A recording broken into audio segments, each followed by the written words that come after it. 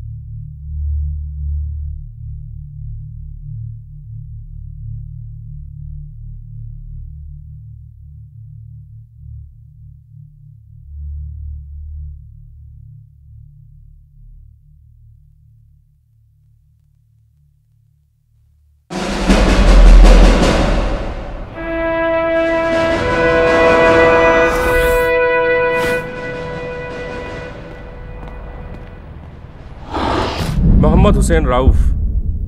Businessman diplomat possible ISI agent Pakistani intelligence agencies और Hindustani politicians के बीच का सबसे बड़ा डील मेकर है sir brigadier Sharma corrupt as hell लेकिन हमारे पास कोई प्रूफ नहीं है sir Samar Singh yes sir power broker आजकल की सारी डील्स यही क्रैक करता है राउफ के साथ काफी देखा गया है सर इसे स्क्वाश खेलते हुए तुम कहना क्या चाहते हो ब्रिगेडियर सर कश्मीर में लश्कर की हलचल काफ़ी बढ़ गई है इलेक्शन आने वाले हैं हमें जल्द से जल्द ये पता लगाना चाहिए कि इसमें होने क्या वाला then do what you have what are you waiting for we have hundred 103 agents in the valley have your pick sir I need someone from outside Vikram Sabharwal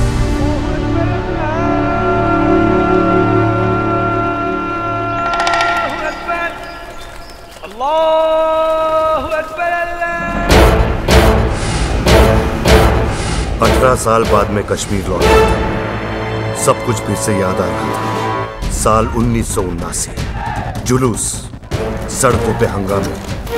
हफ्तों कर्फ्यू और लोगों के मन में कहीं दहशत तो कहीं बढ़ती आजादी का जुनून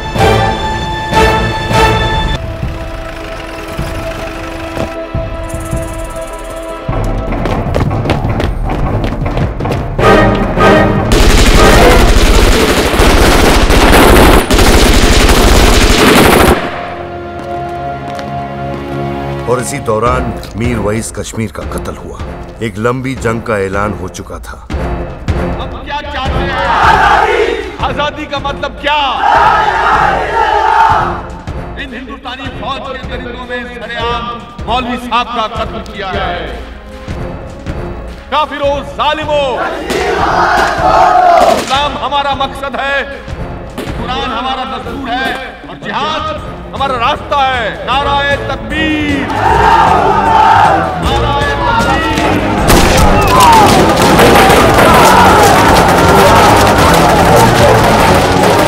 सिक्योरिटी फोर्सेस को फिरन पहने सब कश्मीरी एक जैसे लग रहे थे हम वो जोन में हैं दुश्मन हर समय हर जगह हर सड़क हर गांव हर घर में है उसे ढूंढो और पकड़ो if they don't surrender Shoot them! Koy şart! Hazır! Koy şart! Hazır!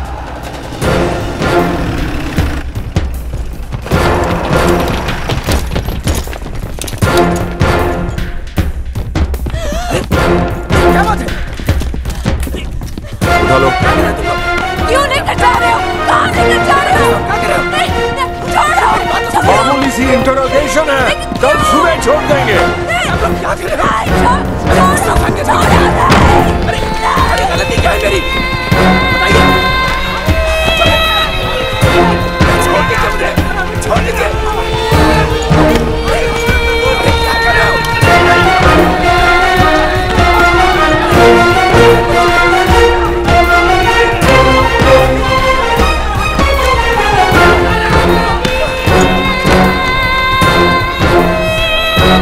Afghanistan में रूस की हार ने कश्मीरियों के हौसले बुलंद कर दिए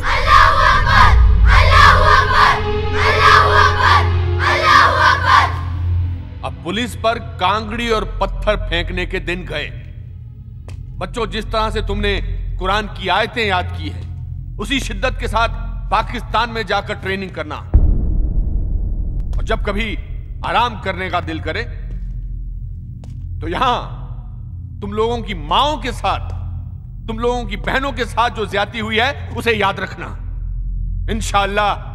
हम ये जंग जरूर जीत के रहेंगे अगले जुम्मे पिंडी में पिंडी में हालत इतनी खराब हुई कि कश्मीरी पंडितों को अपना सब कुछ छोड़कर कश्मीर से निकलने पर मजबूर किया गया किसी ने उन्हें रोकने की कोशिश नहीं की और कश्मीरियत को हमेशा के लिए दाग लग गया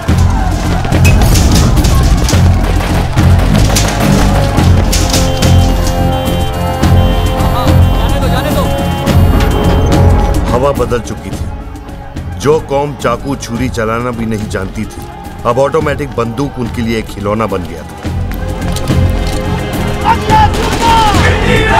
हर नौजवान शहीद बनना चाहता था कश्मीरियों को पूरा यकीन था कि चंद दिनों में आजाद कश्मीर का झंडा श्रीनगर के सेक्रेटेरिएट पर लहराएगा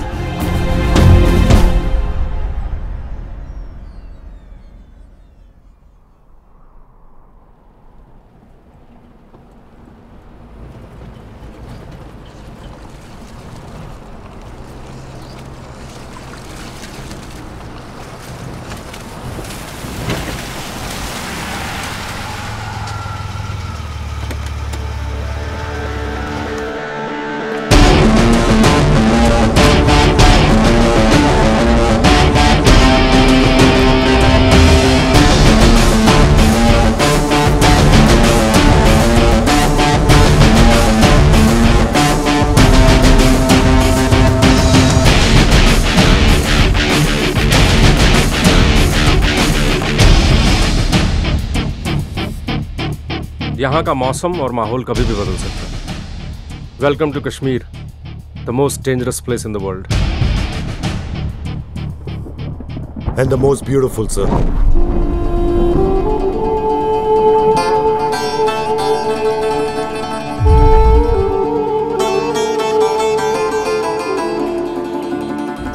इस ऑपरेशन को क्रैक करने के लिए तुम्हें एक नई आइडेंटिटी लेनी होगी गुल जहांगीर ये नाम तुम्हारे सामने बहुत सारे दरवाजे खोल देगा money is not a problem जितना चाहोगे मिलेगा this is a highly confidential mission खतरा कहीं से भी किसी से भी हो सकता है we can't trust anyone अठारह साल में कुछ नहीं पता वही नफरत वही आग God made heaven man created hell this is the story of Kashmir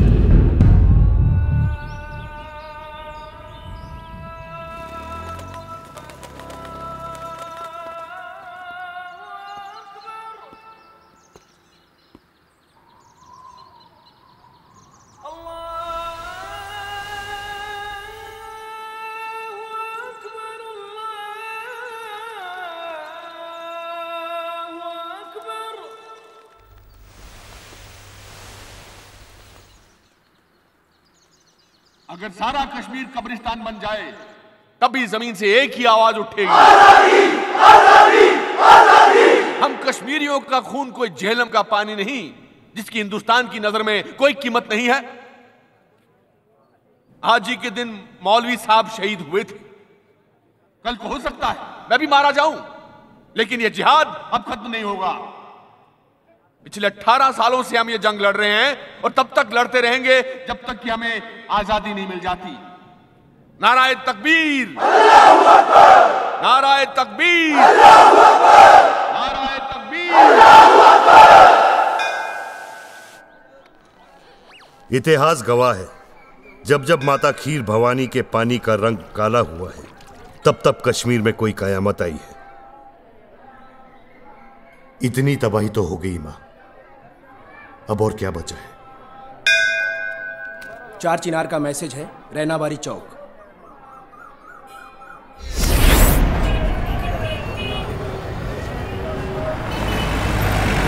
बहुत परेशान करके रखा है सीआरपीएफ को आईडी दिखा कहां से आ रहा है कहां जा रहा है देखा ना साहब बोला था ना मैंने हमारे घर में आकर पूछते हैं कि किधर जा रहा है मेरी माँ की जितना पूछू उतना जवाब देने का समझा थप्पड़ मत मारो साहब थप्पड़ नहीं मारो बाहर निकल बाहर निकल चल बाहर निकल गोली मारता हूँ तेरे को मारू गोली मारू हाँ मार दो ना रोज रोज मार खाने से तो अच्छा है कि एक बार गोली मार दे आप बहुत बोलता है हाँ? बहुत ज्यादा बोलता है तू हाँ? अरे छोड़ो ना साहब एक मिनट बीच में मत बोलना वरना दोनों को यहीं ठोक दूंगा और लिखवा दूंगा मिलिटेंट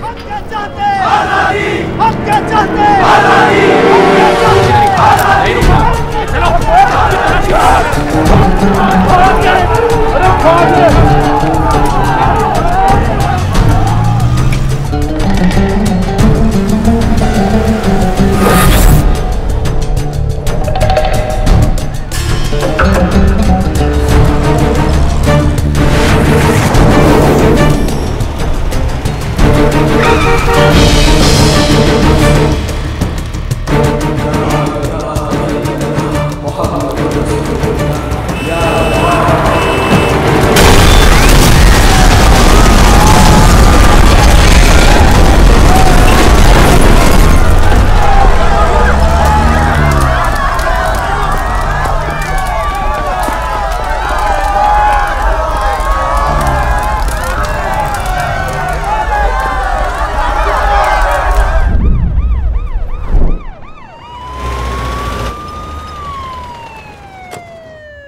ब्लास्ट की वजह से सिचुएशन काफ़ी टेंस हो गई है और कश्मीर पर पूरे दुनिया के मीडिया की नज़र है हमारी तरफ से यानी department of J and K affairs की तरफ से एक प्रेस नोट रिलीज करो कि हम इस ब्लास्ट की हाजी पर हुए हमले की निंदा करते हैं और लोगों को यकीन दिलवाते हैं कि इस बार इलेक्शन पीसफुल होगा कोई प्रॉब्लम नहीं होने वाली और हर बार की तरह इस बार भी सरकार हम ही बनाएंगे पीकेएफ के लीडर हाजी सैयद शाह पर हुए आत्मघाती हमले में उनके पार्टी लीडर शब्बीर अली नोन और उनके ड्राइवर की मौत हो गई। हाजी सैयद शाह ने कश्मीरी आवाम से दरख्वास्त की है कि वो अपने गुस्से को काबू में रखें। आज पीकेएफ के हेडक्वार्टर्स में एक अहम प्रेस कॉन्फ्रेंस रखी गई है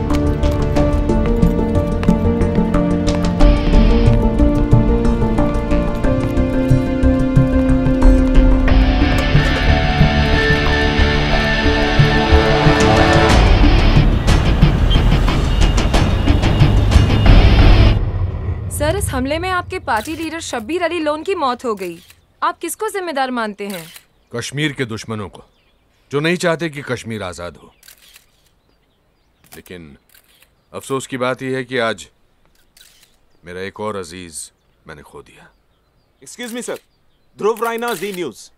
क्या क्या नाम बताया आपने ध्रुव रायना सर जी न्यूज सर सत्रह हमले अठारह साल में और इस सब से आप बच निकले coincidence or what I mean how would you explain this sir ये तो अल्लाह का फजल है one more question sir sir जब आप जैसे लीडर पर ब्लास्ट हो सकता है तो क्या लगता है आपको आम आदमी के लिए कश्मीर जैसी जगह कितनी सुरक्षित है सर बेहतर होगा अगर ये सवाल आप आवाम से पूछें कि किस तरह सात लाख हिंदुस्तानी फौज आवाम की हिफाजत कर रही है रहा सवाल बॉम्ब ब्लास्ट का तो मैं आपसे पूछता हूं क्या बॉम्ब ब्लास्ट मुंबई अहमदाबाद या दिल्ली में नहीं होते सर लेकिन करवाते तो लश्कर तोयबा जैसे टेररिस्ट ग्रुप्स ही हैं बरसों बाद एक पंडित रिपोर्टर को यहां देखकर अच्छा लगा वैसे मिस्टर रायना आप कश्मीर में कब से रिपोर्टिंग कर रहे हैं सर ये कोई छह महीने छह महीने से ये जानते हैं ना ये परवेज है छह महीने का था जब मैंने जेल में बंद कर दिया गया था अपनी माँ के साथ लेकिन यहाँ सालों से कितनी औरतों ने अपने मर्दों को नहीं देखा आपका मीडिया ये बात हिंदुस्तान के लोगों को क्यों नहीं बताता mister Raina no you answer me this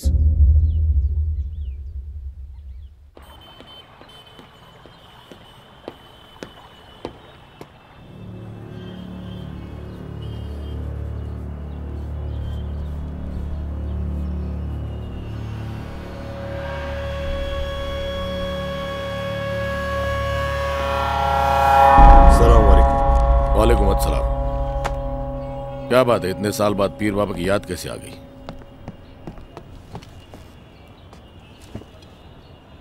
मिलने की इच्छा हुई इसलिए चलाया तुम इंटेलिजेंस के लोग हमेशा दूसरों को थोड़ा कम इंटेलिजेंट समझते हो इसलिए शायद दुनिया में इतनी दहशत है यहां हर आदमी एक मकसद से आता है मैं एक मिशन पे आया हूं कश्मीर फिर जलने वाला है इसमें कौन सी नई बात है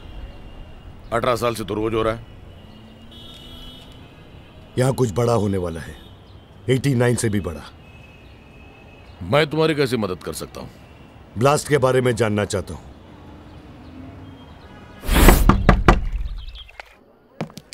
मारूफ दरवाजा खोलिए एक जरूरी खबर देनी है एक मिनट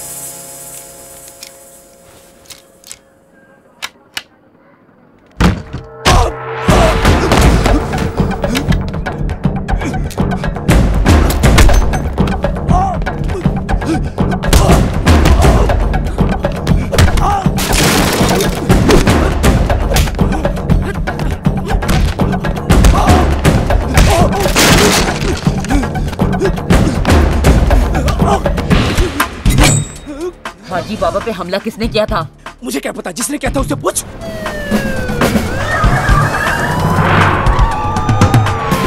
लेकिन ये असला तू नहीं दिया था ना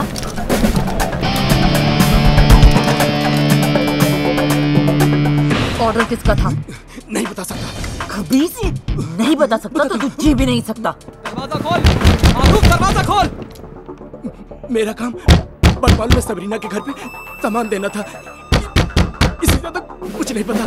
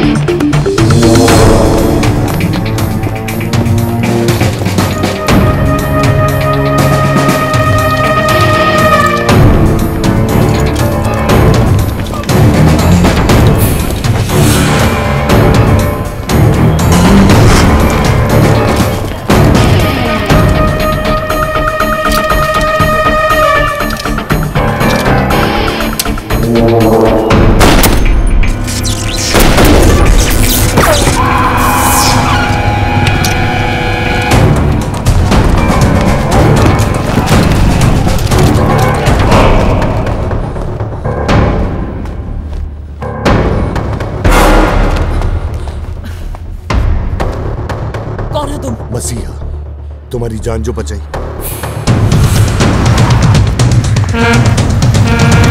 तुमने मारूफ को क्यों मारा तुमने उससे मतलब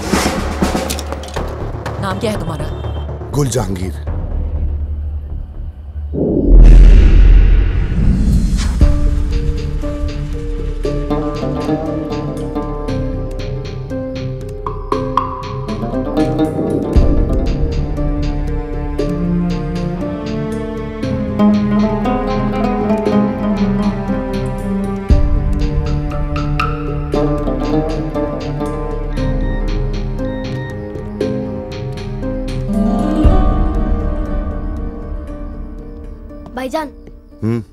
खाना तैयार है आता हूं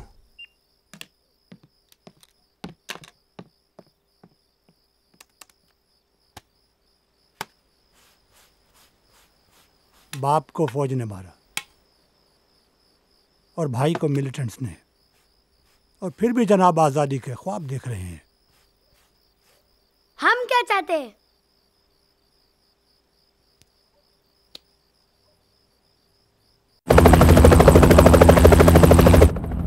किसी के आज़ाद कश्मीर लिखने या बोलने से आज़ादी नहीं मिल जाती जनाब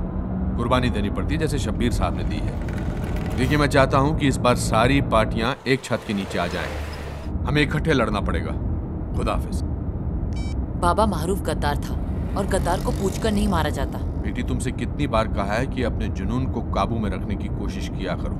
बड़ी बी की इजाज़त के बिना तुम्हें वहाँ नहीं जाना चाहिए था फातिमा स्कॉड या परवेज को साथ ले जाती जोश में होश खो बैठती है ये हम बात कर रहे हैं तुम्हें बीच में बोलने की जरूरत नहीं है परवेज बाबा लेकिन इस मुहिम में मैं बहुत से अजीज खो चुका हूँ तुम्हें नहीं खोना चाहता बेटी अपने वालिद की तरह एक अजीम लीडर बनो बाकी कामों के लिए पुलिस है जी बाबा आइंदा ख्याल रखूंगा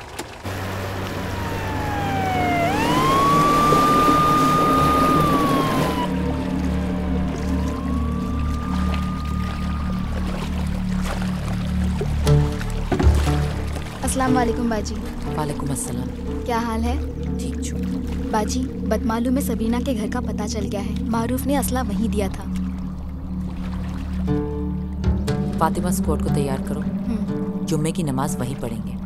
जी और पता करो ये कुल जहांगीर कौन है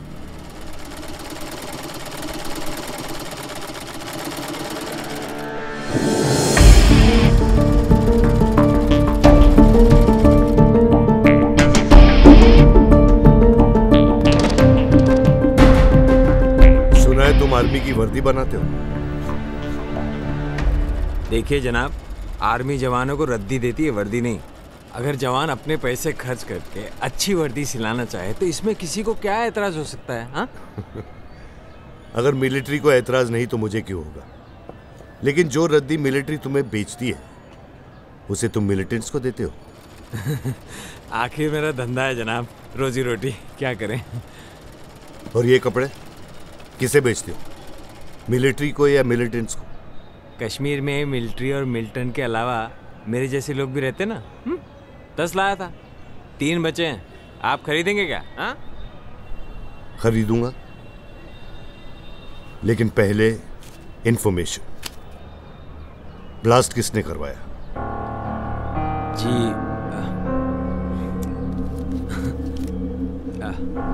मिलिटेंट्स ने या मिलिट्री ने ये काम किसी एजेंसी या अंदर के आदमी का मिलिट्री या मिलिटेंट का नहीं समझा ना इतने यकीन के साथ कह सकते हो जनाब ये है रहनावारी चौक नो मैंस लैंड यहाँ जैश यहाँ अलबदर यहाँ हिजबुल मुजाहिदीन इन तीनों में से यहाँ कोई अटैक नहीं करेगा ये बात तय है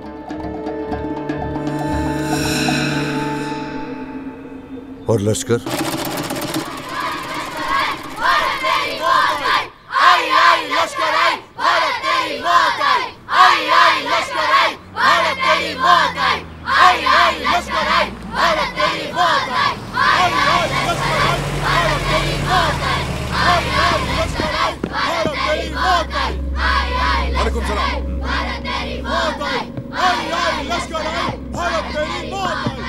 आइए आइए खान साहब अस्सलाम वालेकुम वालेकुम अस्सलाम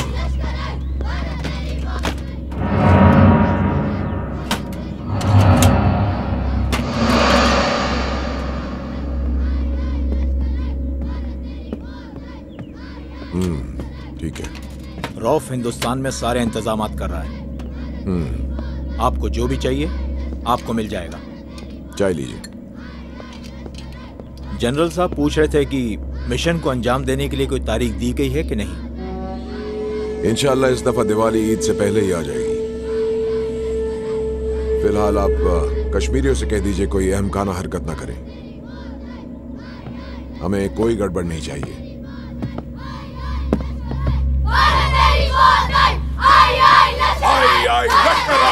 भारत तेरी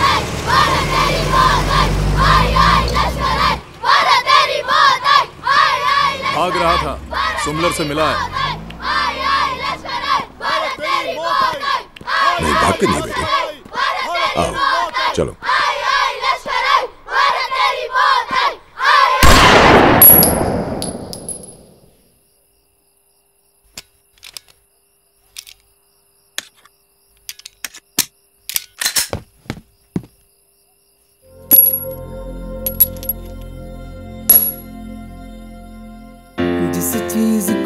जाने की थी उम्मीद खो चुकी उस चीज को पाकर बहुत दिल को खुशी हुई सलाम जिंदगी सलाम जिंदगी सलाम जिंदगी सलाम जिंदगी साथ में है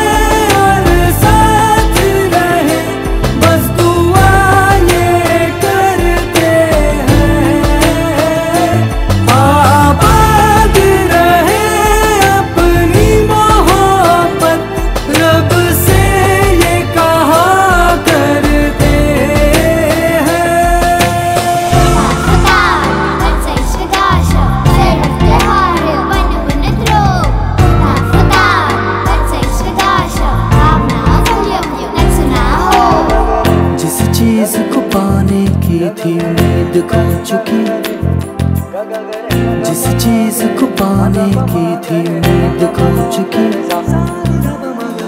उस चीज को पाकर बहुत दिल को खुशी हुई सलाम जिंदगी सलाम जिंदगी सलाम जिंदगी सलाम जिंदगी सलाम जिंदगी सलाम जिंदगी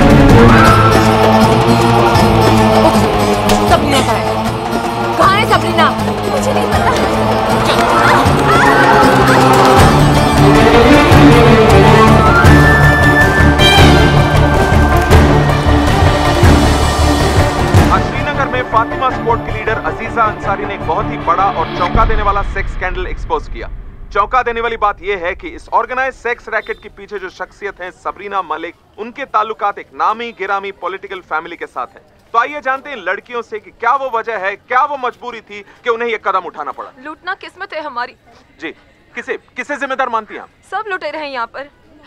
फौज फौज बंदूक की नोक पर लूटती है जी और लीडर्स आजादी की दुहाई देकर जी जी कश्मीर का यह नया पहलू वाकई चौंका देने वाला है आजादी की मुहिम लड़ने वाली पॉलिटिकल पार्टी क्या आप जिस्म फरोशी और औरतों की दलाली पर उतर आई है हाजी साहब आपके होते ही ये क्या हो रहा है वादियों में ये सेक्स स्कैंडल जैसी खबरें कश्मीर की मुहिम को बदनाम कर रही है मत भूलिए आपको ये फंड कश्मीर की आजादी और जिहाद के लिए दिए जाते हैं देखिए जनाब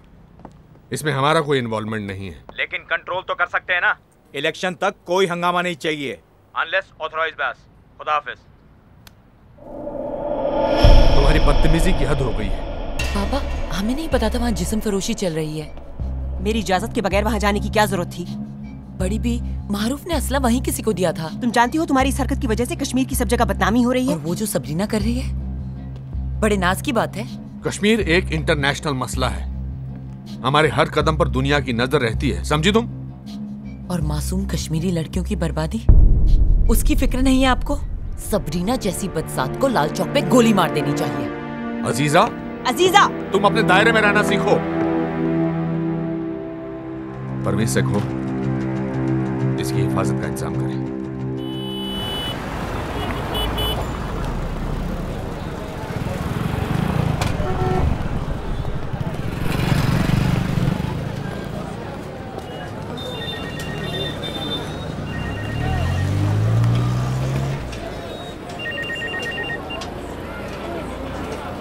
कौन गुल जहांगीर पीछे मुड़कर मत देखो दो आदमी तुम्हारा पीछा कर रहे कहाँ है मुझे तो कोई नजर नहीं आ रहा है लेकिन मुझे आ रहे हैं तुम भी और वो भी चलती रहो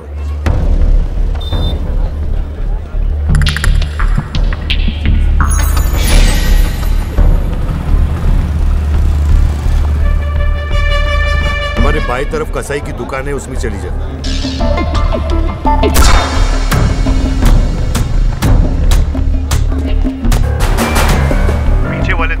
बाहर आ जाओ वहीं रुको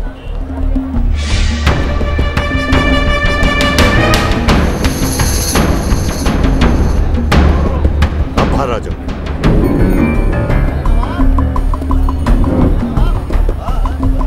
सीधा डल गेट की तरफ चलो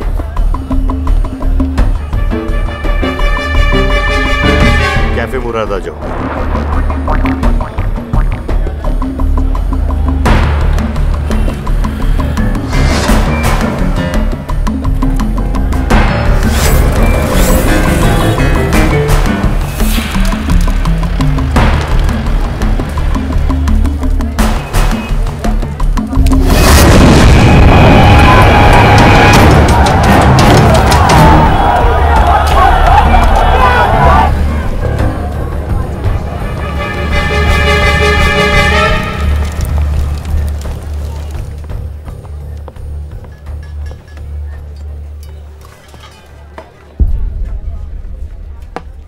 कौन थे वो लोग जो हमारा पीछा कर रहे थे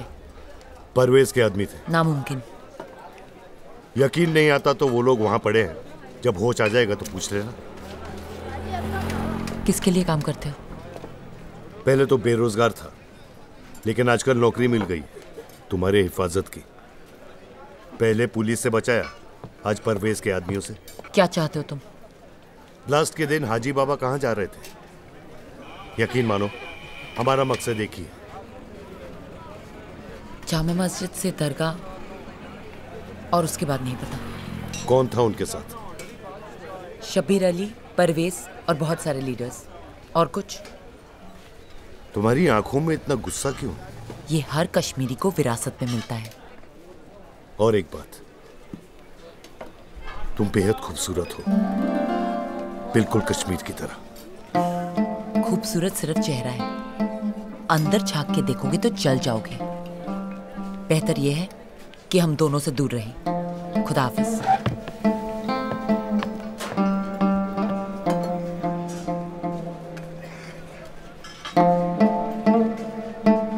कश्मीर बिल्कुल नहीं बदला आज भी जन्नत है देखिए रोफ साहब आप बात को समझने की कोशिश नहीं कर रहे सब कुछ प्लान के मुताबिक चल रहा है सिवाय आपके समर साहब देखिए जब हमारी ये डील फिक्स हो चुकी है कि मशीनरी आप देंगे और उसको एग्जीक्यूट हम करेंगे तो फिर ये एक्स्ट्रा एक्सपेंसेस क्यों देखिए आपके जो इंटरनल प्रॉब्लम्स हैं प्लीज आप खुद सॉल्व कीजिए हम पर क्यों लाद रहे हैं हम तीस करोड़ रुपए लश्कर पे हर साल खर्च करते हैं अब बताइए आपसे कोई मांगा हमने बोलिए देखिए सभी मिनिस्ट्री पुलिस फोर्सेस एजेंसी सबके सब इसमें इन्वॉल्व है सबकी जेबें भरनी पड़ती हैं तो इस मिशन के बाद फायदा भी तो सबको होने वाला है अब आपकी सरकार और मिनिस्ट्री का और इंटेलिजेंस का बजट कितना बढ़ जाएगा आपको अंदाजा है कुछ बैठिए आप मैं समझाता हूं आपको और यहां देखिए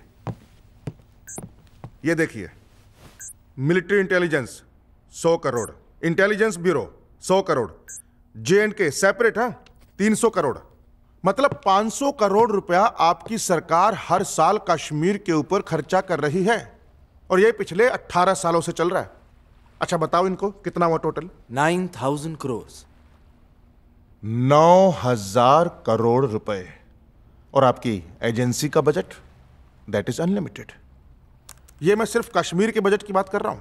और हम लोग जो अभी बात कर रहे हैं वो पूरे हिंदुस्तान की बात है अब आप लोग अंदाज़ा लगा लीजिए कि आने वाले 20 सालों में आप लोगों को कितना फ़ायदा होगा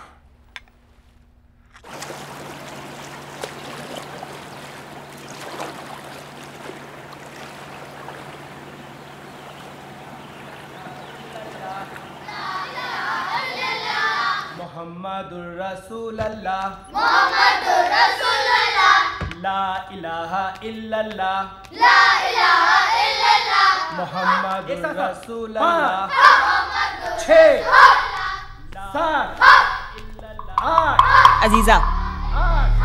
परवेज हमारी जासूसी क्यों कर रहा है जासूसी नहीं तुम्हारी हिफाजत कर रहा था हम अपनी हिफाजत खुद कर सकते हैं बाबा का हुक्म था कौन था वो अजीजा किससे मिलकर आ रही हो जहांगीर पुलिस से बचाया था उसने हमें मारूफ वाले दिन आइंदा उसे नहीं मिलना ये हुक्म है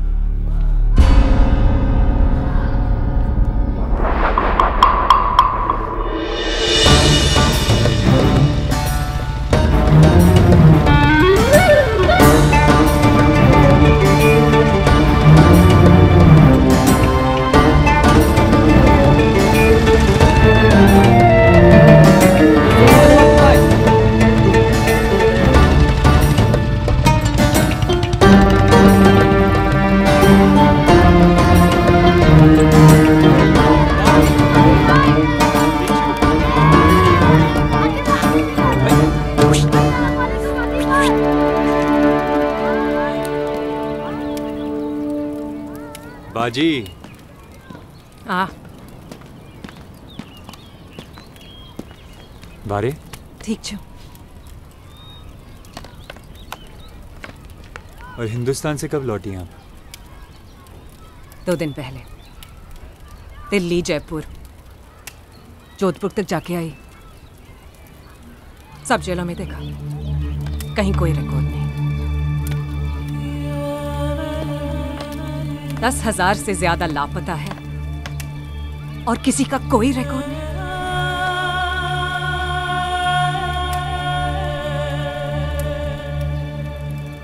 मैं जब भी वापस आती हूं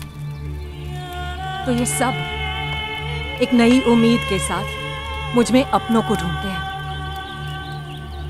और मैं मायूसी और निराशा के अलावा उन्हें कुछ नहीं दे पाती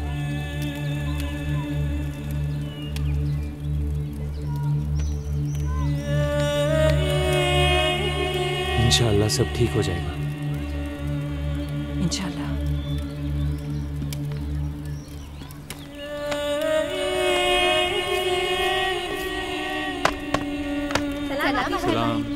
वालेकुम सलाम आते भाई अनाज तो आ गया है इंशाल्लाह शाम तक सीमेंट भी पहुंच जाएगा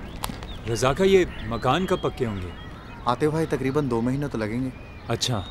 मतलब गोलियों और गालियों से जी नहीं भरा आपका जो अब इन्हें सर्दी से मारने का इरादा है जल्दी से तैयार करो जी ओए सलमान जी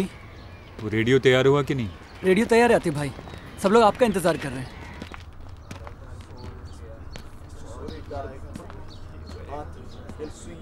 सलाम वालेकुम सलाम वालेकुम अस्सलाम वालेकुम तो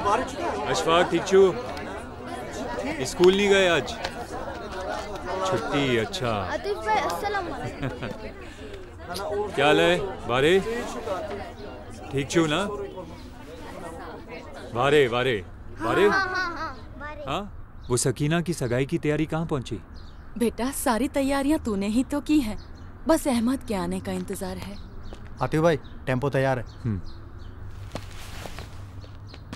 मौजो हम्म। काट कर सलाम वालेकुम बेटा तू ठीक है ना सकीना की शादी यहाँ की हालत वहां से बदतर है कोई नहीं अपना तू वापस आ जा बेटा सब तेरी राह देख रहे हैं वो लोग यहाँ आने को तरस रहे हैं और हम अपने घर जाने को पाजी इसकी तो रिपोर्ट करनी चाहिए अरे नहीं यार ये लोग आतंकवादी नहीं है आम आदमी हैं जो जोश में पाकिस्तान चले गए थे और अब वापस आना चाहते हैं तीन हफ्ते हैं मैं भी अपने घर निकल जाऊंगा जान छूटेगी इस पागलपन से पाजी आप पे भी पागलपन के दौरे पड़ते हैं क्या हाँ जब तनख्वाह सात हजार रुपए हो तो और क्या होगा साला खाना भी खुद पकाओ वर्दी भी अपने पैसों से पहनो और ऊपर से इन मादर चौद आतंकवादियों का मुकाबला भी करो कहने को ये जन्नत है जन्नत जन्नत जन्नत और जहन्नुम के बीच का फासला सिर्फ एक गोली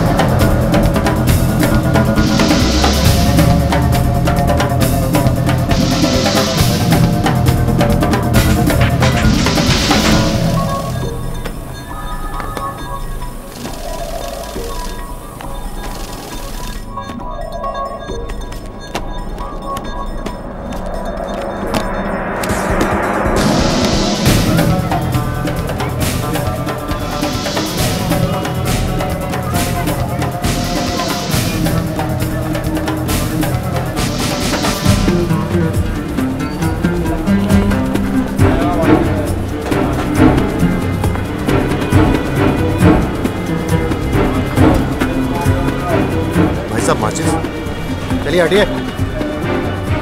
आइए Parvez sir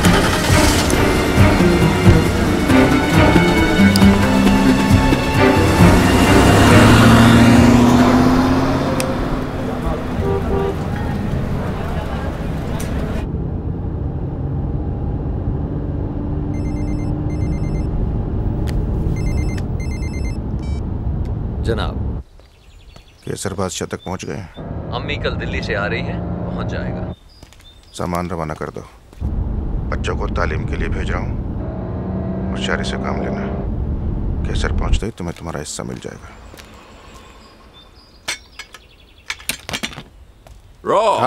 good morning thanks for waiting come come so all well सब सेट खैरियत तीन घंटे के लिए बॉर्डर खुलवाना है तीस लाख इस बार रेट कुछ ज़्यादा है सरकार वक्त भी बहुत ज़्यादा है तीन घंटे के लिए बॉर्डर खुलवा रहे हो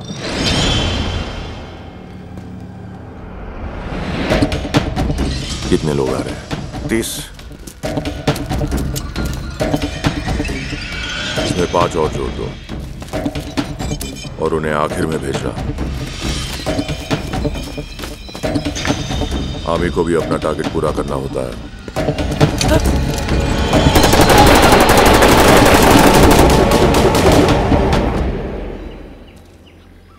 की स्ट्रगल चलती रहेगी अपने ही मुल्क में इज्जत से जीने के लिए और हमें कितना लड़ना पड़ेगा कभी कभी लगता है आज़ादी का ख्वाब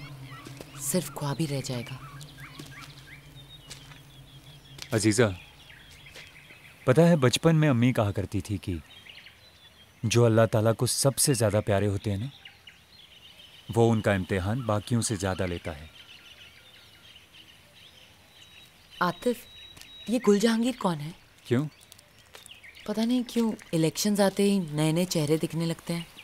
वैसे इस बार एक पुराना चेहरा भी दिखाई देगा तुम जानते हो इसका नतीजा क्या हो सकता है बंदूक तो उठाकर देख ली अब बैलेट भी आजमा कर देख लेते हैं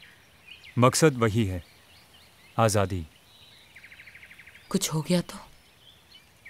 फिर दूसरी जन्नत में मुलाकात होगी है दिल को तेरी आरज़ू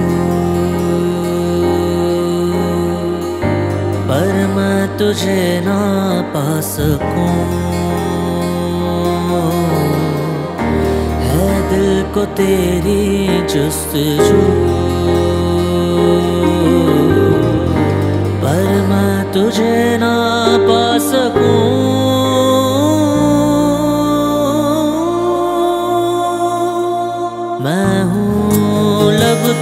दुआ दोनों जुड़ के जुदा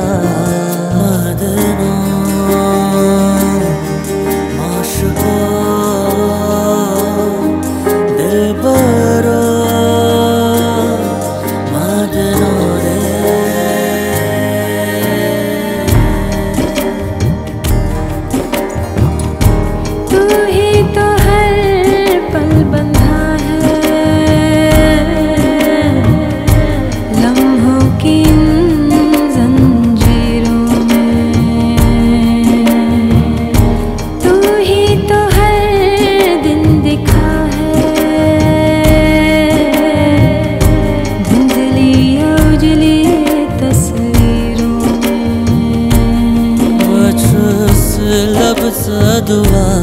मिलत दशवय जुदा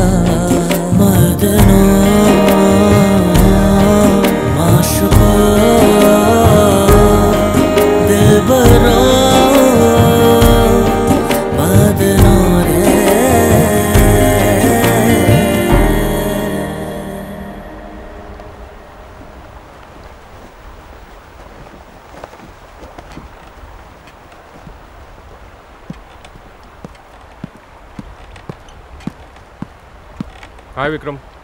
मुझे हाजी ब्लास्ट केस की फाइल्स चाहिए सर वो सी के पास है बिना सही वजह बताए वो लोग मुझे फाइल्स नहीं देंगे and you know that is risk to our mission C का चीफ कौन है sir S P Khan but he won't cooperate in Kashmir the system work differently Vikram that's the problem sir damn egos this system sucks sir हमें इंसाफ दो या मौत दो हमें इंसाफ दो या मौत दो हमें इंसाफ दो या मौत दो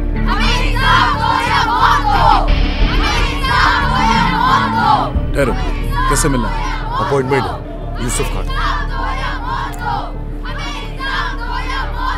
हेलो सर यूसुफ खान मिलना चाहता हूँ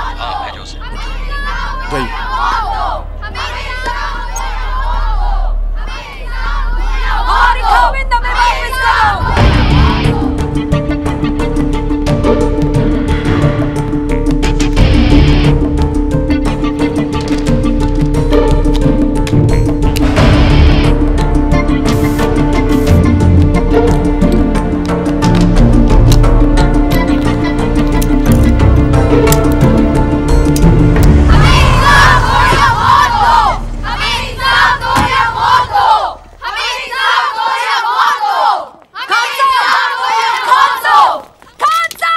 कितनी बार कहा है कि यहाँ आने से कुछ हासिल नहीं होगा परवीना जी गवर्नमेंट तो आपको मुआवजे दे रही है पाँच लाख रुपए कम नहीं होते पैसे लो और जान छोड़ो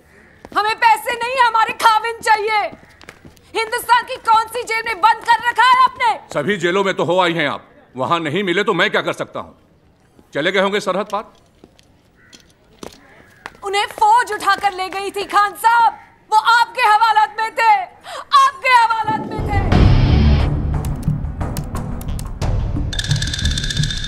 खान साहब सुनिए खान साहब देखिए मैं इंक्वायरी तेज करवाने की कोशिश करूँ इंक्वायरी सत्रह साल से आपकी इंक्वायरी चल रही है खान साहब आप ये क्यों नहीं कहते कि आपकी सरकार ने उन्हें मार दिया है कम से कम हम झूठी उम्मीद के सहारे तो नहीं जिएंगे हमें अपनी इस्लामी रिवाज के तहत एक बेवा के हक तो मिलेंगे इन्हें हटाओ यहाँ से हटाओ इन्हें यहाँ से हटाओ मैं कहता हूँ हटाओ खान साहब कम से कम ये तो बताइए कि उन्हें दफनाया कहाँ है चलिए उनका फतेहा तो पढ़ लेंगे खान साहब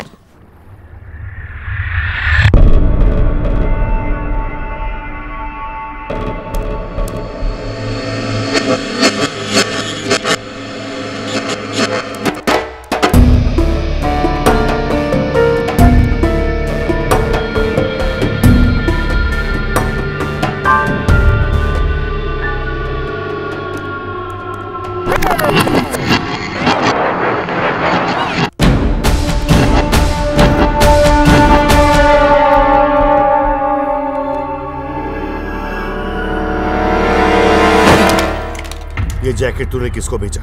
अब बहुत लोग खरीदने आते हैं कैसे बताऊं किसको बेचा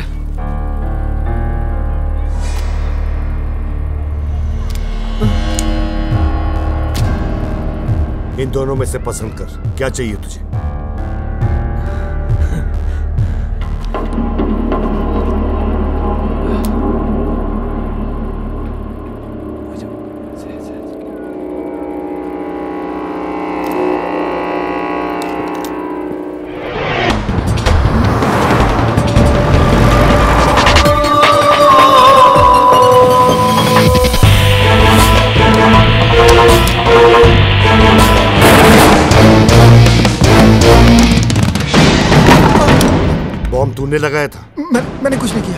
मुझे मारने के बाद मैं भी बोलूंगा मुझे कुछ नहीं पता मुझे बस इतना पता है कि हरी झंडी वाली गाड़ी को उड़ाना था परवेज भाई का ऑर्डर था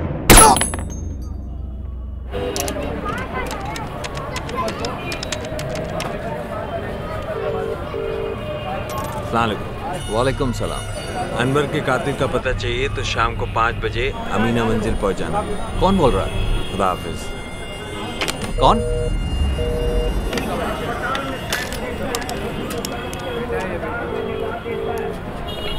हेलो हाँ आपका काम हो गया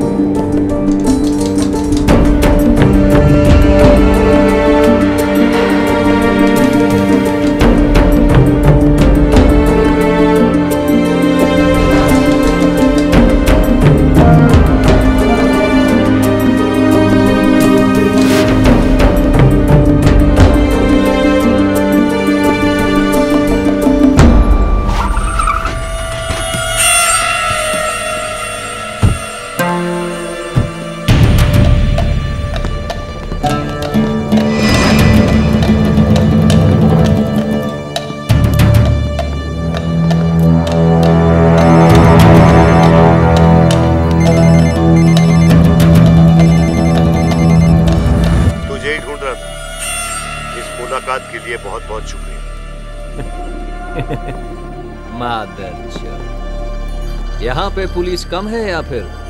तू ही पुलिस है सामने क्यों नहीं आता लास्ट का ऑर्डर तूने दिया था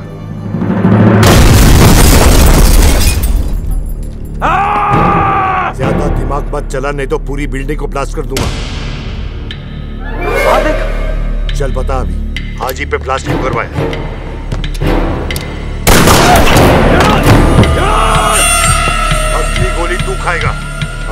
इसको मारने की तैयारी चल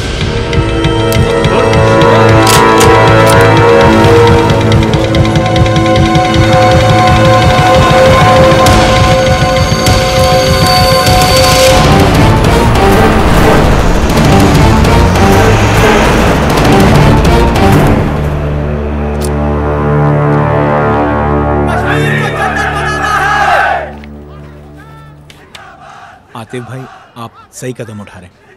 मेरा वोट आपके ही हक में पड़ेगा हम्म। शुक्रिया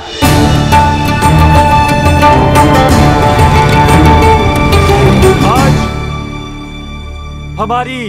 आइडेंटिटी सिर्फ एक आई कार्ड बनकर रह गई है कहने को तो हम जन्नत में रहते हैं लेकिन सच बात यह है कि अठारह सालों से हम एक खूबसूरत जेल में रह रहे हैं अरे ना बोलने की आजादी ना सोचने की ना अपने ढंग से जीने की आजादी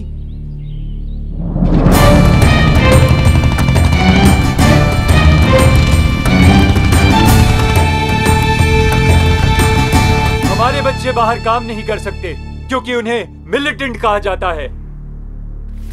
और यहाँ पर वो काम कर नहीं सकते क्योंकि यहाँ पर इंडस्ट्री नहीं है यहाँ पर इंडस्ट्री तब तक नहीं होगी जब तक ये मौका परस्त लीडर है जो नहीं चाहते कि आवाम तरक्की करे जो कि तरक्की पसंद आवाम सवाल पूछती है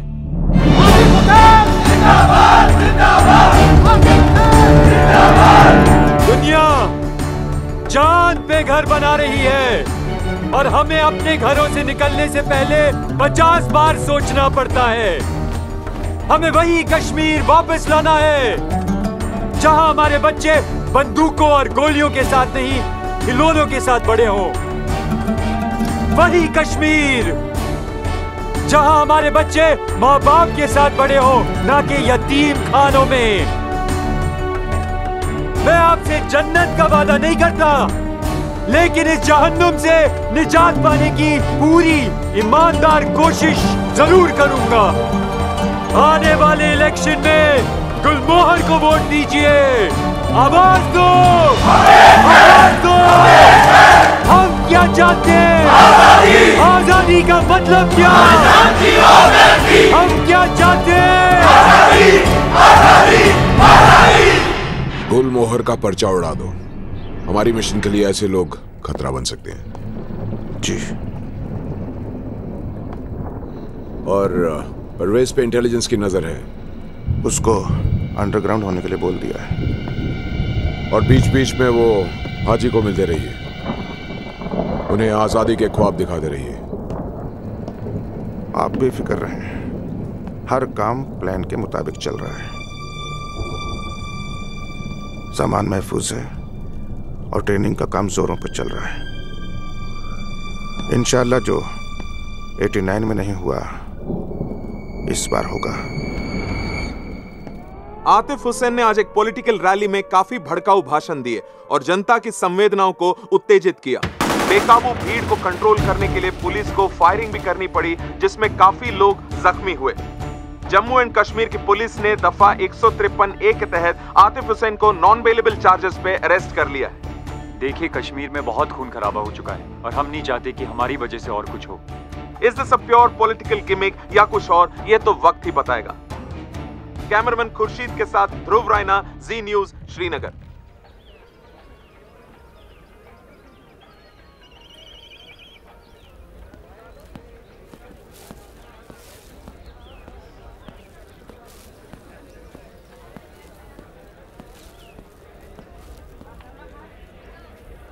यहां बुलाने की वजह बाबा के बारे में कुछ पता चला था हमें कुछ नहीं सुनना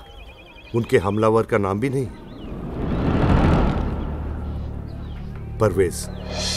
परवेज को बाबा ने अपने बेटे की तरह पाला है इट्स इम्पॉसिबल मखदूम साहब की मस्जिद में खड़ा कभी झूठ नहीं बोलूंगा बाबा से खास मोहब्बत की वजह मोहब्बत बाबा से नहीं कश्मीर से है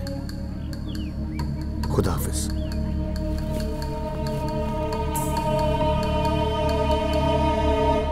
जनाब आपका मेहमान आ चुका है बोले इसके साथ क्या सलूक करना है ठीक वैसा जैसा एक मुजरिम के साथ होना चाहिए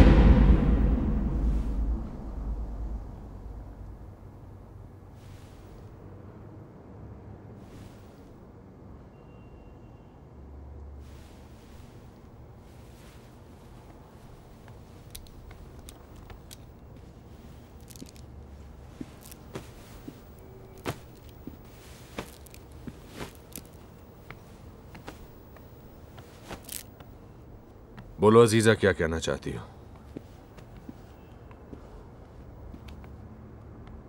बाबा आपसे अकेले में बात करनी है यहां कोई गैर नहीं है बोलो आपकी जान को खतरा है उसमें कौन सी नई बात है खतरा गैरों से नहीं इस बार अपनों से है जो भी कहना है साफ साफ कहो बाबा परवेज परवेज ने आप पे हमला करवाया था अजीजा तुम जानती हो तुम किस पर इल्जाम लगा रही हो जी परवेज ने ब्लास्ट के ऑर्डर्स दिए थे तुम हद से बाहर जा रही हो अजीजा उस दलील आतिफ की बातों में आ गई हो तुम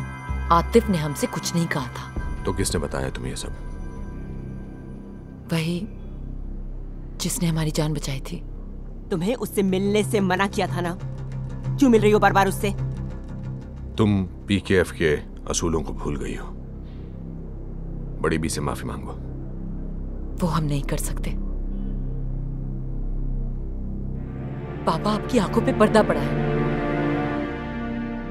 इतना पर्दा नहीं पड़ा अजीजा कि तुम्हारी हरकतों को बचपना समझकर माफ कर दूं। तुम्हारे लिए बेहतर यही होगा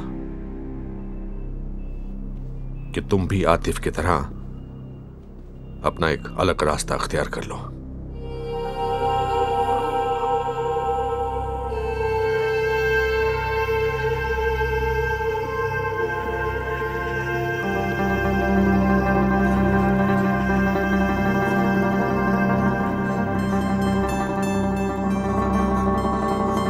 जबान इसकी मौत की वजह न बन जाए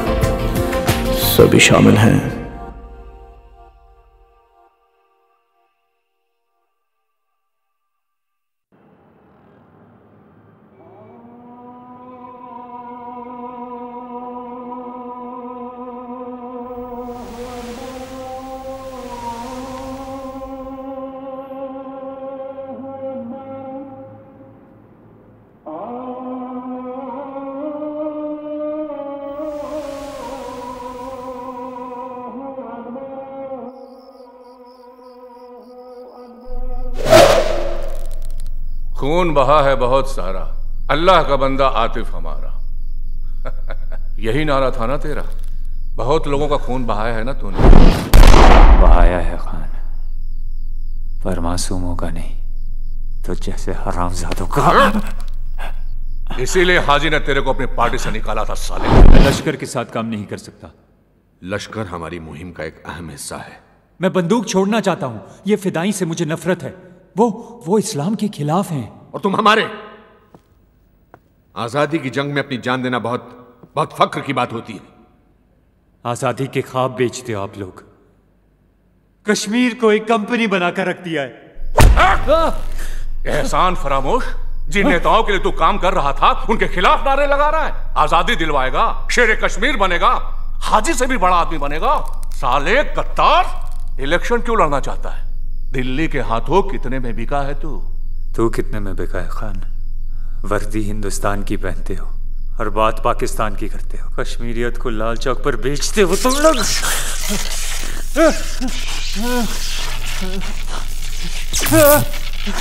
Ah!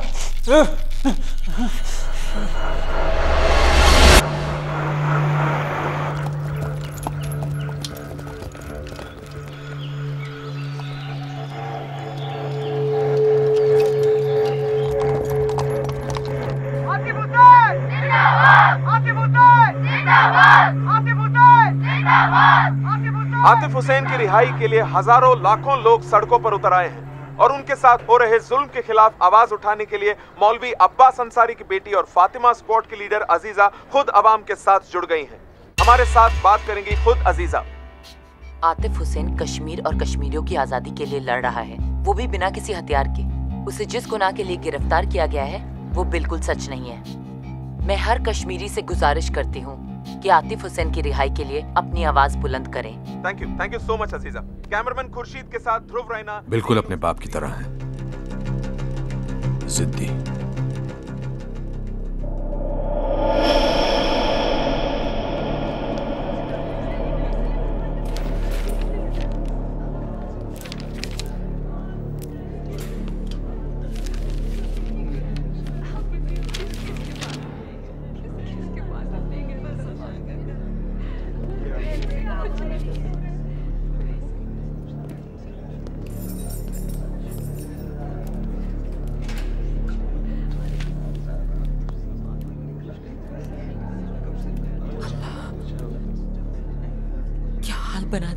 नाम साधो ने तुम्हारा इसी की तो तनख्वाह बातें हैं संभल के वैसे मेरा हाल कश्मीर से तो बेहतर ही है ऐसे वक्त पे भी मजाक कर लेते हो फिक्र मत करो इस बार मैं ही नहीं सारा कश्मीर तुम्हारे साथ है मीडिया भी तुम्हारी रिहाई के लिए जोर दे रही है ये देखो कल से सिग्नेचर कैंपेन भी शुरू किया है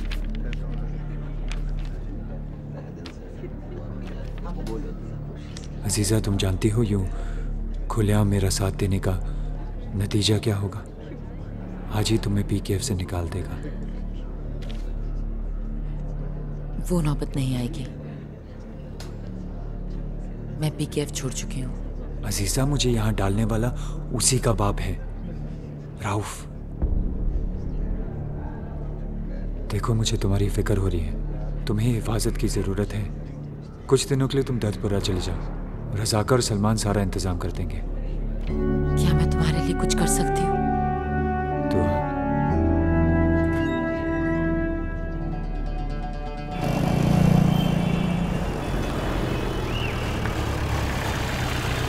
ऑपरेशन 89 को जानने के लिए हमें सबसे पहले परवेज को गिरफ्तार करना पड़ेगा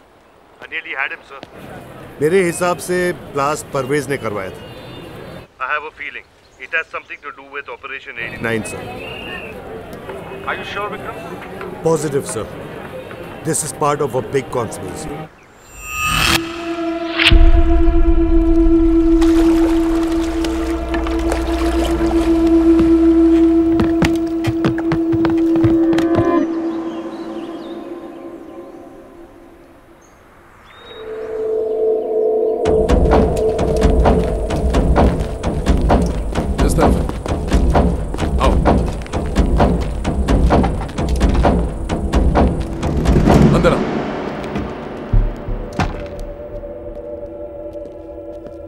सलाम वालेकुम जनाब आ, वालेकुम अस्सलाम आइए जनाब मुझसे कहा होता तो मैं खुद ही चला आता हिंदुस्तानी पुलिस अफसरों के साथ जानते भी हो कश्मीर में क्या हो रहा है तुम्हारे खिलाफ अरेस्ट वारंट निकला हुआ है जब तक माहौल सुलझ नहीं जाता तुम यही रहो हाँ इतमान से रहो हमारे साथ अब हमें कश्मीरियों की तरह मेहमान नवाजी तो आती नहीं जितनी हो सकती है उतनी खातिरदारी तो जरूर करेंगे जावेद कबाब खिलाओ खाओ लो ये लो शुक्रिया कोई बात नहीं रूसियों से जंग लड़ने से हमारे जिहाद को दो मजबूत दोस्त मिले हैं एक तो अमरीकी डॉलर और दूसरा ये ए के सैतालीस जनाब जानते हो इसे ए के सैतालीस क्यों कहते हैं जनाब मैं तो सिर्फ चलाना जानता हूँ एक यानी आजाद कश्मीर सन सैतालीस से अब इसे चाहे पानी में डुबो या बर्फ में डालो कभी धोखा नहीं देती तुम कश्मीरियों की तरह बाबा पर सत्रह ब्लास्ट हो चुके हैं अठारवा कब होगा ये कोई नहीं जानता उनकी जान को खतरा है और ये बाबा कभी नहीं मानेंगे चाचा हम बाबा के हमलावारों का पर्दाफाश करना चाहते हैं ब्लास्ट के दिन क्या हुआ था हाजी बाबा परवेज और शब्बीर भाई मस्जिद से निकले हर जुम्मे की तरह हाजी बाबा ने दरगाह पे गाड़ी रोक दी एक फकीर को हरा कपड़ा दिया और पता नहीं क्यों कहा कि शब्बीर भाई की गाड़ी पर बांध दो मुझे बस इतना पता है कि हरी झंडी वाली गाड़ी को उड़ाना था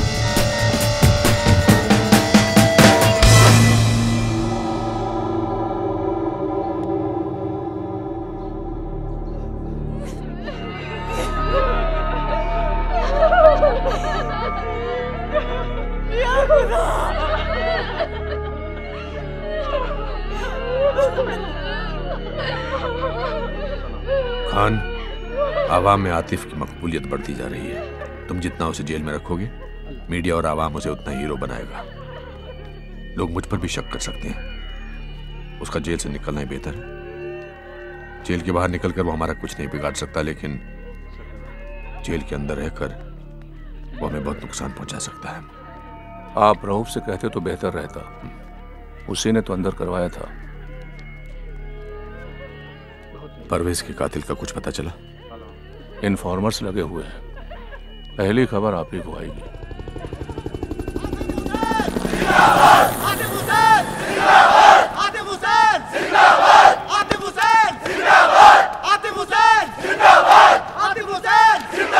आतिफ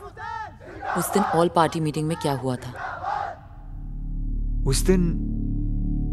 शबीर और हाजी के बीच में कुछ झगड़ा हो गया था शबीर इलेक्शन लड़ना चाहता था और हाजी ने उस पर इल्जाम लगाया कि वो दिल्ली के हाथों बिक चुका है लास्ट के दिन वो सब कहाँ जा रहे थे बस इसी मसले का हल ढूंढने के लिए पीर के घर जा रहे थे लेकिन पीर बाबा को सियासत छोड़े अरसा हो गया वो क्यों दखल अंदाजी करेंगे ये कश्मीर है जनाब यहाँ सियासत कभी कोई नहीं छोड़ता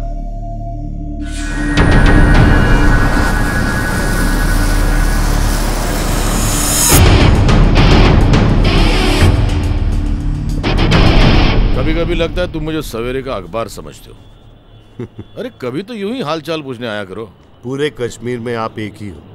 जिस पे मैं भरोसा कर सकता हूँ जिसे दोस्त कह सकता हूँ मजाक कर रहा था तुम कश्मीर का दर्द समझते हो भाई हो हमारे बोलो क्या बात है ब्लास्ट के दिन हाजी और शब्बीर अली आपसे मिलने आए थे किस सिलसिले में हुरियत का आपसी मसला था सलाह करने आ रहे थे मसला इतना गहरा था कि हाजी ने शब्बीर अली को मार दिया ब्लास्ट तो हाजी ने ही करवाया था ना मुझे यकीन नहीं होता दोनों एक ही पार्टी के थे तो झगड़ा किस बात का एक ही पार्टी में होने से सोच एक जैसी नहीं हो जाती आने वाले इलेक्शंस को लेकर दोनों के इरादे मुख्तलिफ थे हाजी इलेक्शन बॉयकॉट करना चाहता था शब्बीर ने इलेक्शन में उतरने का फैसला किया जाहिर है जो इलेक्शन लड़ेगा उसने हिंदुस्तान से समझौता किया होगा इसका मतलब यह है कि शब्बीर अली दिल्ली के हाथों पिका था ये कश्मीर जो है ना कश्मीर ये बहुत बड़ी कंपनी है जहाँ लोग रोज करोड़ों रुपया फेंकते हैं ताकि ये जलता रहे शायद शब्बीर भी इसी का शिकार हुआ था क्या मालूम और आतिफ मरेगा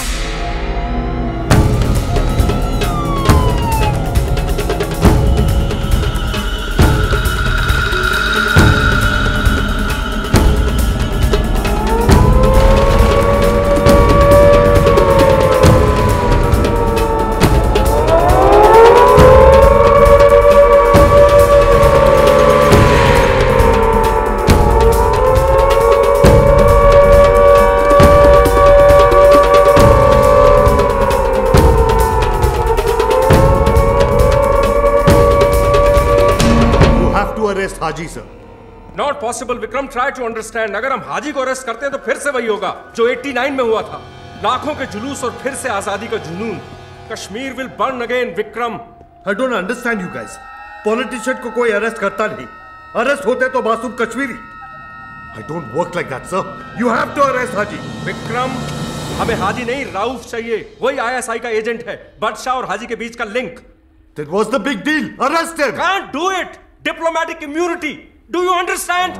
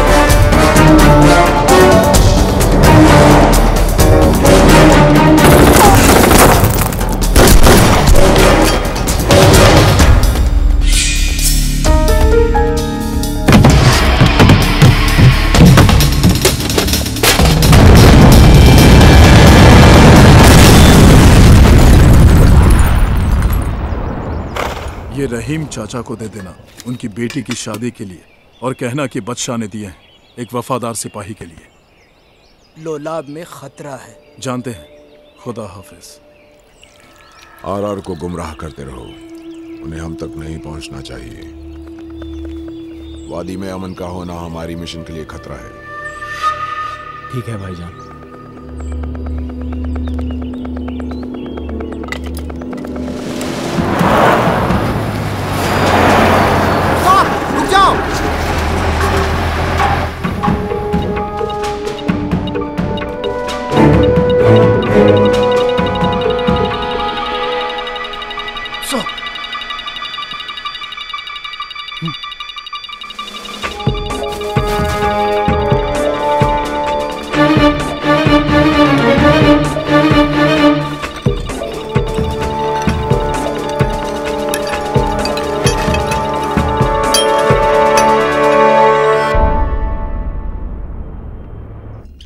जनाब शायद आपको इस बात का एहसास नहीं कि अगर ये बात जनता को पता लग गई तो सरकार भी गिर सकती है सरकार इस ऑपरेशन से लोगों के बीच जो दहशत पैदा होगी उसका सीधा सीधा फायदा आपको होगा नो पेन नो गेन लोगों के बीच जितना डर पैदा होगा आपकी मिनिस्ट्री का बजट उतना ही बढ़ेगा और यह बात मुझे आपको बतानी नहीं चाहिए कि ऐसी डीलिंग में सबसे मीठे आम आपको ही मिलने वाले हैं सबसे बड़ा कट रहेगा आपका तो जितना निचोड़ सकते हो निचोड़ लो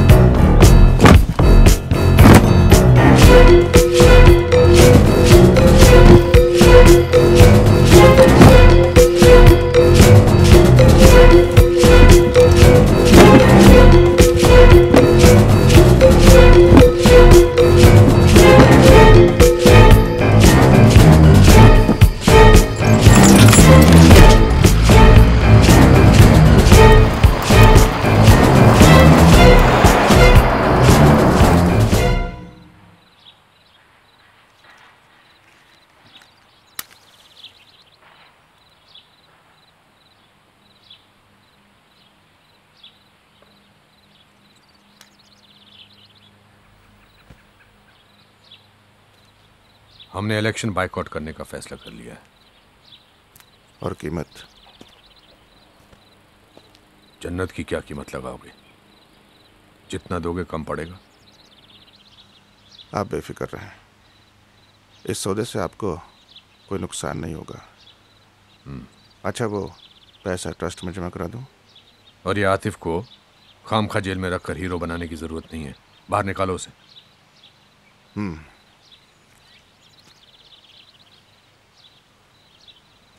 खुदा हाफिज़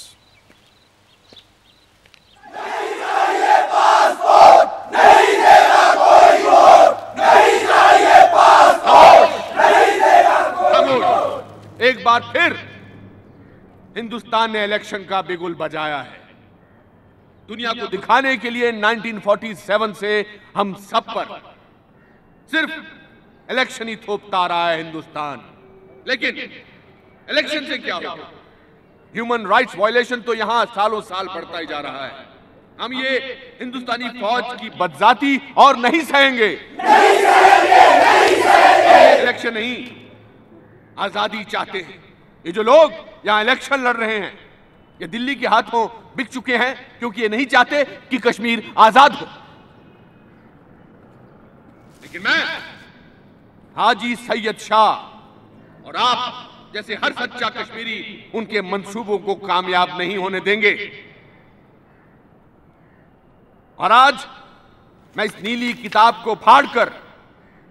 इलेक्शन के बायकॉट का ऐलान करता हूं नहीं चाहिए पासपोर्ट नहीं देंगे वोट नहीं चाहिए पासपोर्ट नहीं देंगे वोट नहीं चाहिए पासपोर्ट नहीं देगा कोई vote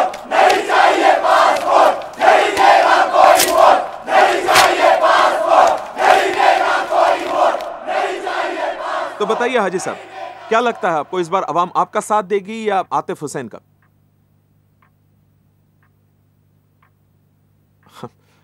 well what do you think about the Kashmiri Pandit मतलब कश्मीरी पंडित इस बार वोट कर पाएंगे या uh,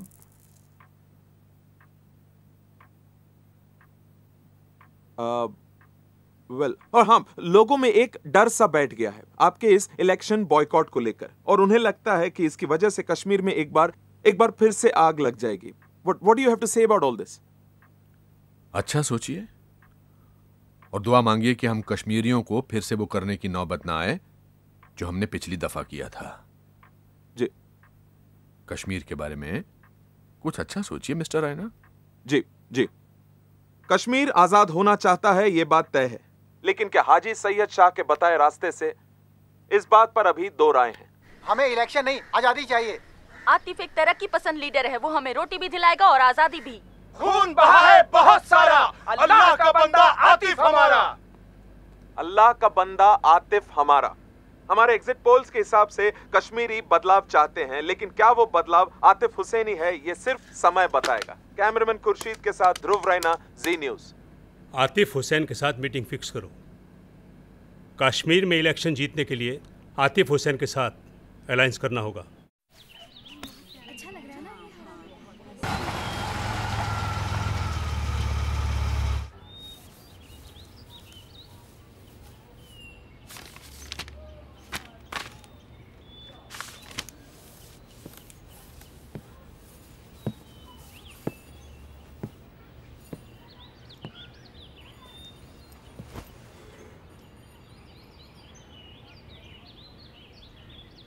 इनके खाविंद अठारह साल हो गए वो मरे नहीं है शायद क्या आर्मी उठाकर लेके गई थी मेजर शर्मा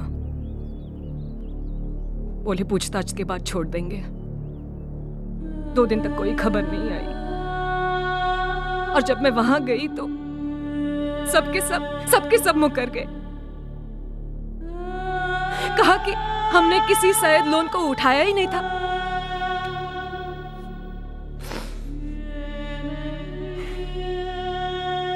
अल्लाह ने कहा है सब्र रखो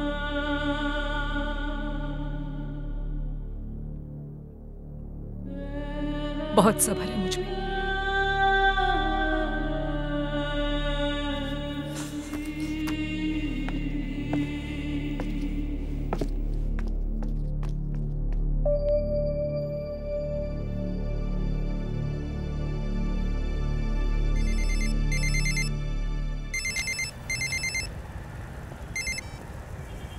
वालेकुम वालेकुम सलाम आतिफ के रिहाई के बारे में आपसे कुछ बात करनी थी ऐसी बातें फ़ोन पर नहीं किया करते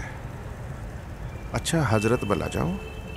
वहीं कुछ बात करते हैं खुदा हाफिज़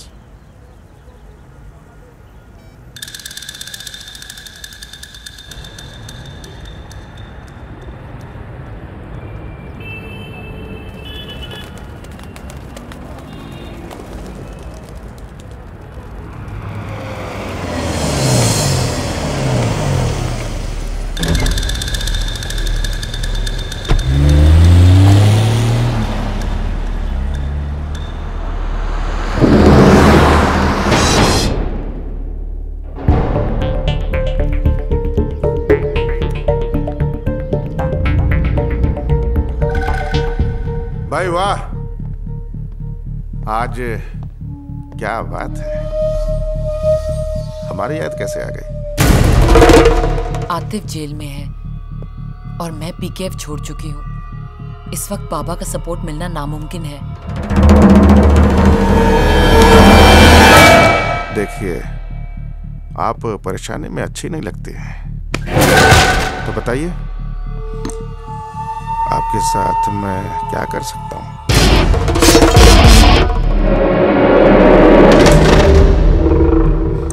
खामोश क्यों है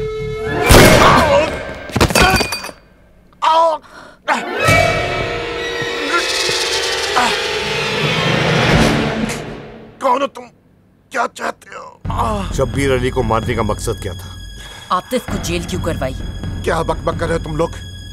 देखिए मैं बिजनेसमैन हूँ जनाब और सिर्फ बिजनेस करता हूँ सही कह बिजनेस करता है लेकिन कश्मीर का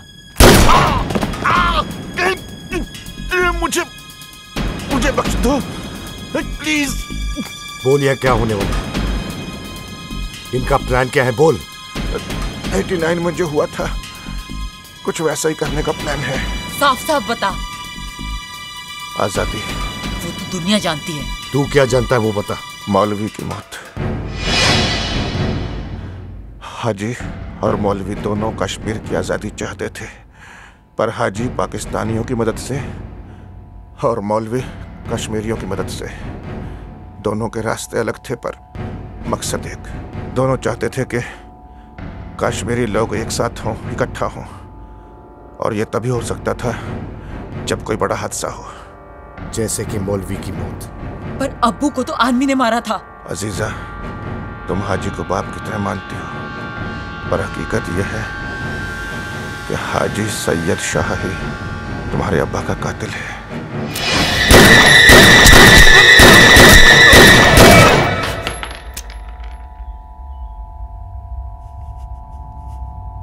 मारना हो तो तुम हाजी को मार सकती हो लेकिन अगर तुमने उसे मारा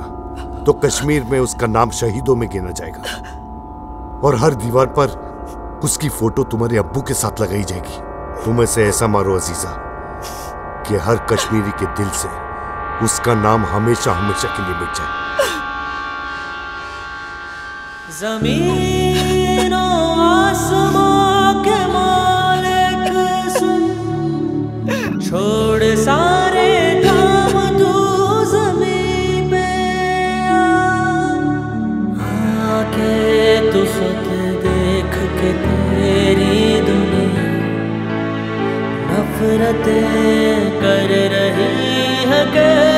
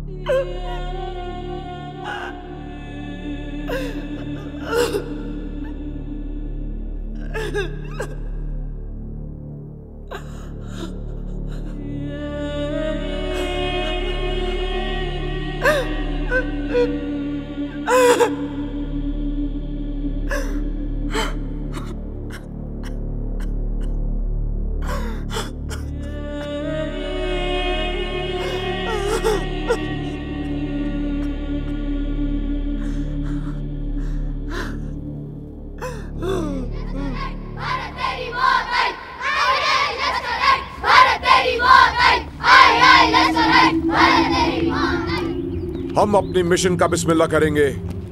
जम्मू कैंप से और उसके लिए तुम में से तीन बच्चे जाएंगे तुम तुम बेटा और तुम हमारे मिशन की शुरुआत करोगे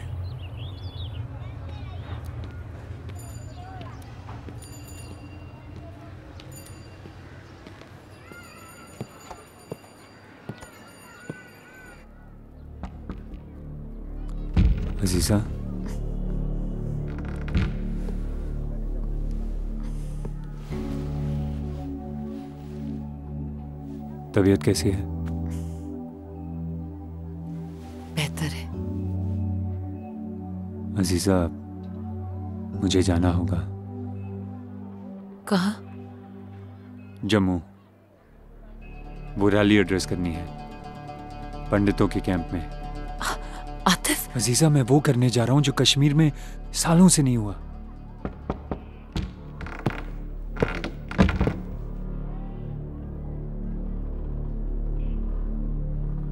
हाजी अपने फायदे के लिए लोगों का इस्तेमाल करना उसकी खासियत है हाजी भी मरेगा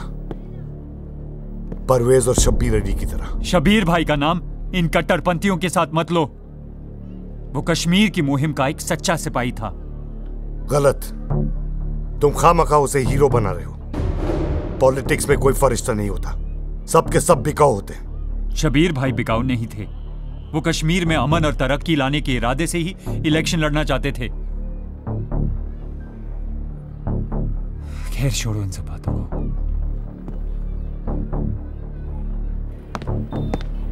तुमने मुझे झूठ बोला पीर क्या कह रहे हो तुम शब्बीर अली दिल्ली का प्यादा नहीं था वो एक अच्छा कश्मीरी था और ये तुम जानते थे फिर भी तुमने मुझे गुमराह किया देखो विक्रम जितना मैं जानता था मैंने तुम्हें बता दिया मैंने तुम्हें अपना दोस्त समझा कश्मीर का वफादार समझा लेकिन तुम भी बिक गए हो बाकियों की तरह क्या चाहते हो तुम लोग शब्बीर अली को क्यों मारा तुमने ये ऑपरेशन 89 क्या है मेरा कोई ऑपरेशन 89 से ताल्लुक नहीं है है बिल्कुल है तुम्हारा भी और हाजी का भी शायद इसलिए शब्बीर अली मारा गया क्या चाहते हो तुम लोग आजादी आजादी हाँ मेरा ऑपरेशन 89 से ताल्लुक है ब्लास्ट कर रहे हम जम्मू चौबीस घंटे के अंदर रोक पाओगे तुम जम्मू में ब्लास्ट का नतीजा जानते हो जम्मू एक और कश्मीर बन जाए वही तो चाहते हैं हम वही तो चाहते हैं हम हिंदुस्तान के हर कोने में एक कश्मीर पैदा हो ताकि तुम लोग भी हमारा दर्द सह सको और समझ सको पिछले अठारह साल से हम पर क्या बीत रही है तुम पागल हो गए पीर बिल्कुल पागल हो गए इसका अंजाम तुम जानते हो है उससे बदतर तो नहीं होगा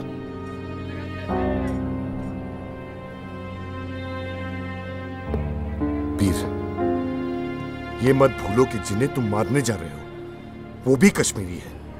और ये मत भूलो कि उनके लिए तुम लोगों ने पाकिस्तान से जंग लड़ी थी 1947 में मैं ब्लास्ट रोकने जा रहा हूं पीर हो सके तो तुम भी रोक लो बेबस हो मेरे हाथ में कुछ भी नहीं है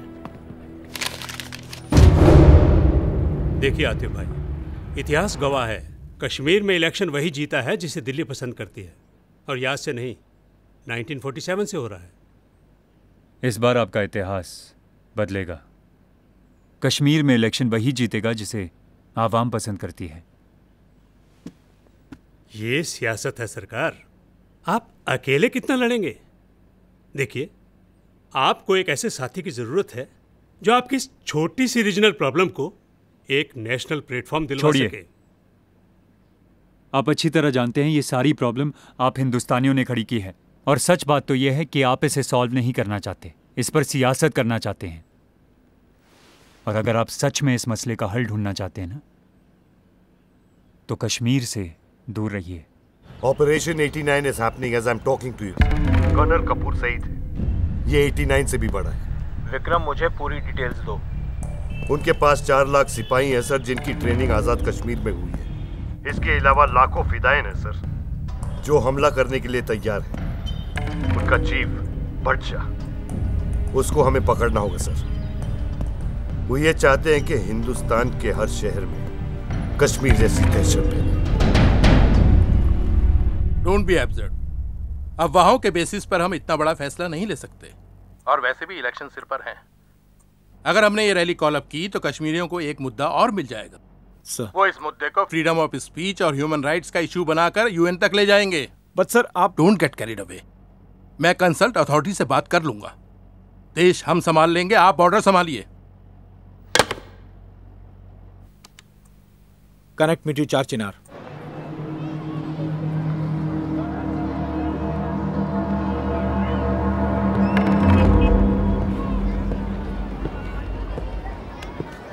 चार चिनार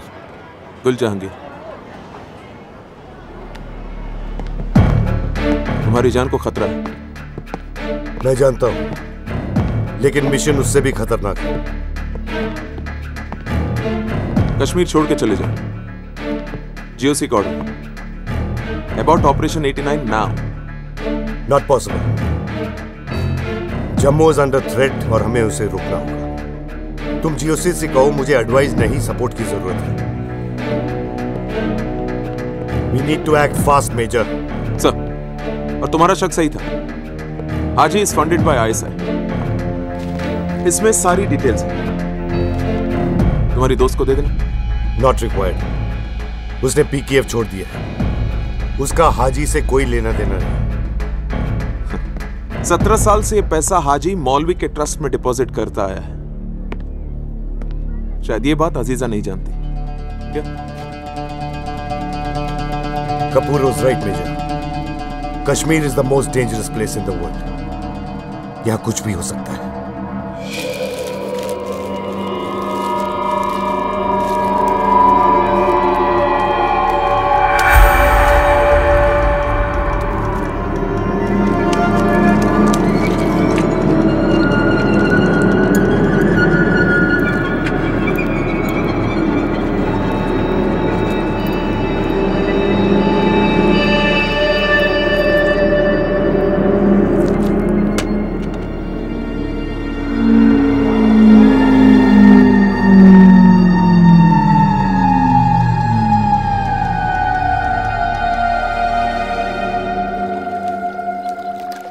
बार फिर पंडित टारगेट है और फिर तुम सोच सकती हो कि कश्मीरियों पे क्या बीतेगी पर होने क्या वाला है आतिफ की रैली में ब्लास्ट होने वाला है क्या आतिफ से कहो कि रैली रोक दे पर डू एज ऐसे फोन लगाओ आतिफ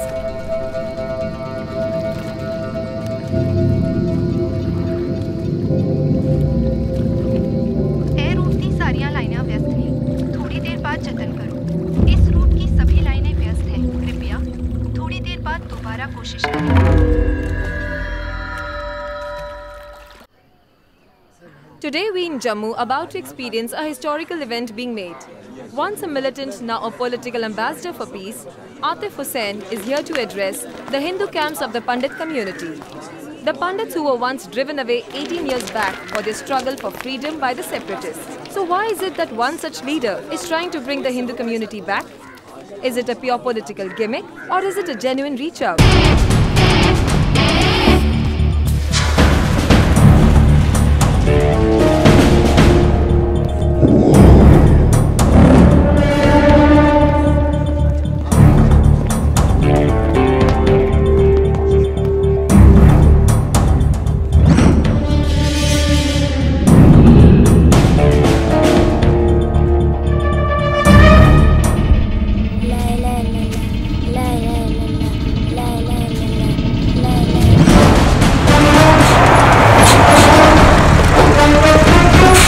अल्लाह तुझसे बहुत खुश है मेरे बच्चे उसने तुझे जिहाद के लिए चुना है ये तेरे जन्नत की चाबी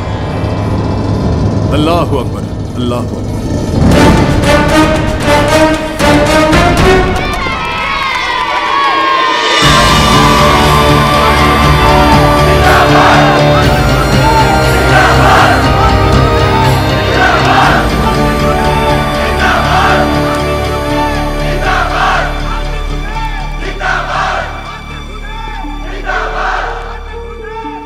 आतिफ ये रैली कैंसिल कर दो यहां बहुत बड़ा ब्लास्ट होने वाला है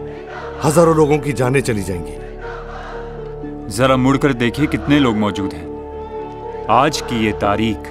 कश्मीर के लिए बहुत जरूरी है और आप चाहते हैं कि मैं सब कुछ छोड़ दूं? ये कारवां अब रुकने वाला नहीं है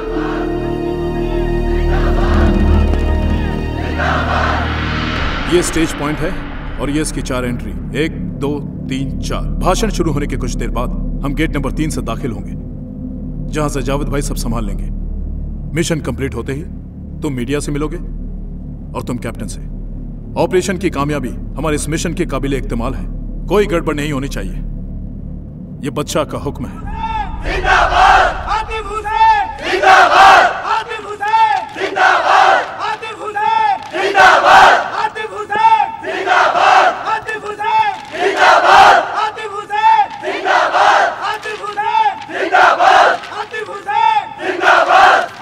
आज मैं आतिफ हुसैन आतिफ हुसैन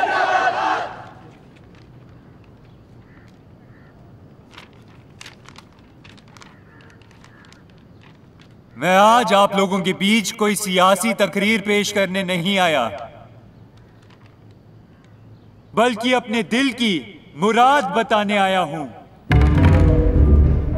वो मुराद जो हर सच्चे कश्मीरी के दिल की आवाज है विंडो पे कोई है ओके सर आप लोग वापस आ जाओ वापस आ जाओ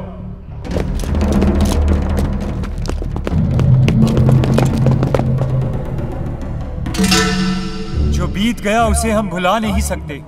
मगर यकीन मानिए दर्द हम सब ने बराबर का सहा है बस फर्क इतना है कि आपने मिलिटेंट की गोली खाई और हमने मिलिट्री की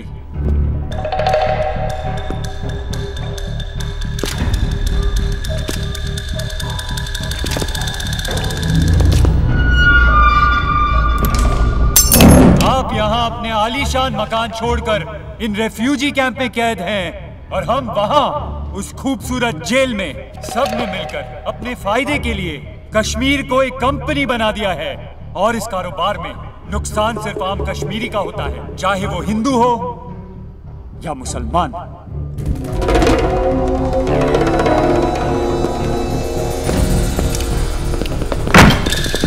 हमारे आपसी झगड़े बहुत छोटे थे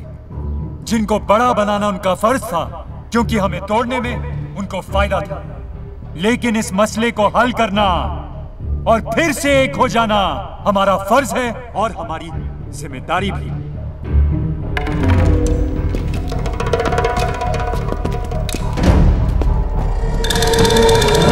और अगर हमने ये कदम नहीं उठाया तो अठारह सालों से जो कश्मीर में हो रहा है वो कल जम्मू में भी होगा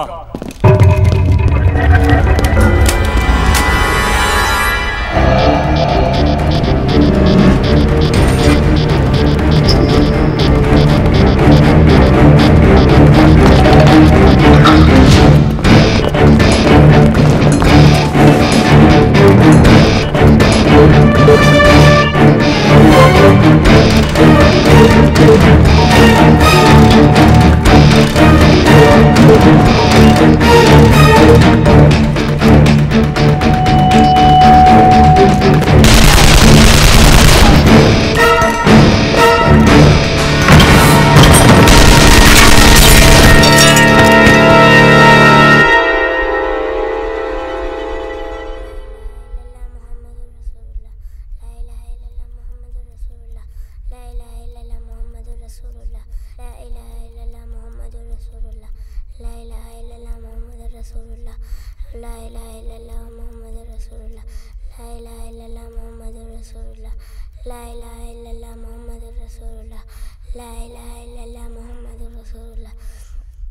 إله إلا الله محمد رسول الله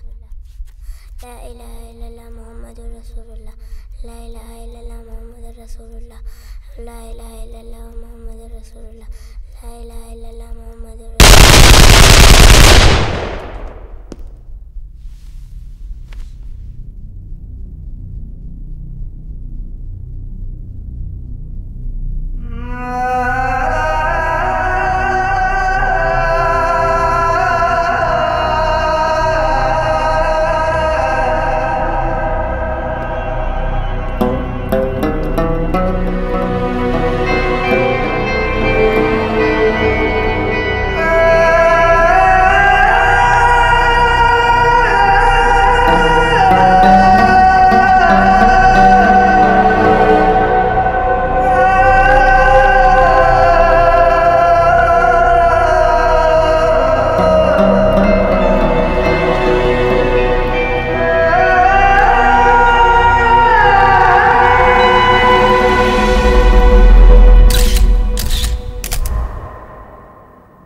हाजी सैयद शाह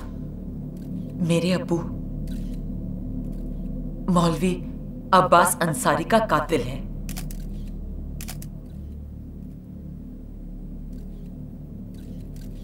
पिछले अठारह सालों से वो कश्मीरियत का सौदा करते आ रहे हैं तुम्हें पता भी है तुम क्या बोल रही अजीजा सबूत है मेरे पास उनके बैंक रिकॉर्ड्स जहां पे सालों से अब जो रुपयों का ट्रांसफर होता आ रहा है आईएसआई और ना जाने कितनी इंटरनेशनल एजेंसीज इन्हें फंड करती हैं ताकि कश्मीर जलता रहे ताकि ये मासूम कश्मीरियों को गुमराह करते रहे कभी इस्लाम के नाम पे कभी जिहाद के नाम पे कभी कश्मीरियत तो कभी जंग आजादी के नाम पे हमारे जज्बातों के साथ खेलना हाजी सैयद शाह का पेशा है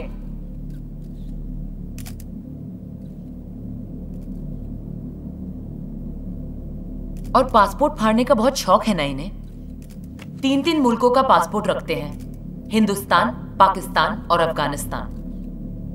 हाजी सैयद शाह ने हम कश्मीरियों के साथ वही किया जो सदियों से हिंदुस्तान और पाकिस्तान की सरकार करती आई है वो हर उस मां का गुनेगार है जिसने अपना बेटा खोया है वो हर उस बेटे का गुनेगार है जिसने अपने वालिद को खोया है और वो हर उस औरत का गुनेगार है जिसके खाविन आज तक लापता है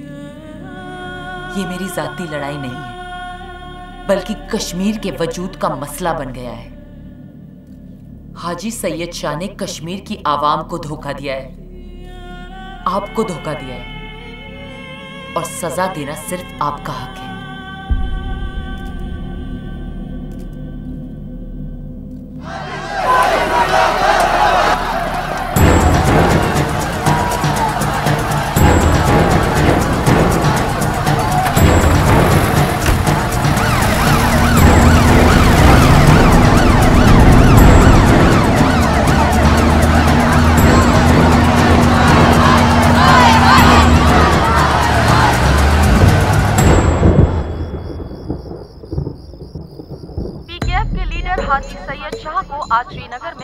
गिरफ्तार कर An intense exchange of fire has been going on between the army and terrorists for the last आतंकवादी बच्चा आज सुरक्षा बलों के साथ हुई कुपवाड़ा में सुरक्षा बलों और आतंकवादियों में फायरिंग जारी है अब तक दो आतंकवादी मारे जा चुके हैं चार शहरों में हुए सीरियल ब्लास्ट में 160 व्यक्ति मारे गए जम्मू कश्मीर में आज भारी सुरक्षा के बीच मतदान संपन्न हुआ in Mumbai terrorist attack Haji Syed Shah has been released on health grounds इस्लाम के नाम पर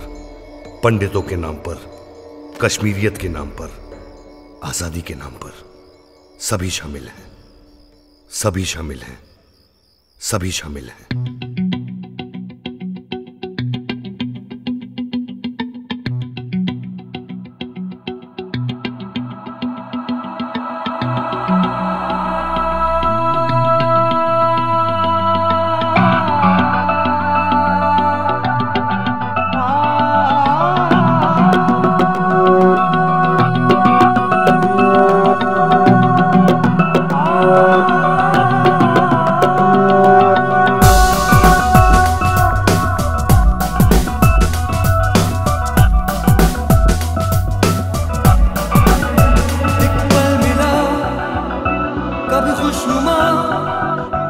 एक पल मिला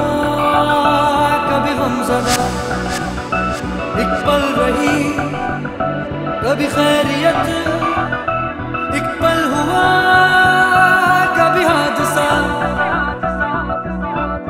मौसम कुछ अनजाने अच्छा ऐसे मिले यहाँ दिल को जो दिल गए खामोशिया सरगोशियाँ यूं ही रातें ढलती है यूं ही होती सुबह रहमत